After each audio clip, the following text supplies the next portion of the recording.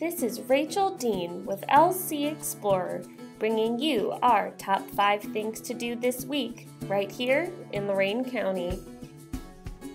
Go on the Lolly the Trolley Light Tour in downtown Amherst. Attend the Holiday Wine and Beer Party at Bistro 83.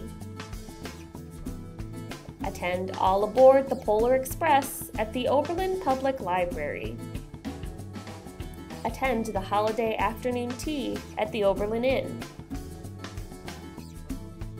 Attend Sip and Shop at Matus Winery. For all the details on these activities and to find even more fun things to do in Lorain County, visit lcexplorer.com slash this week or download the LC Explorer app on your iPhone.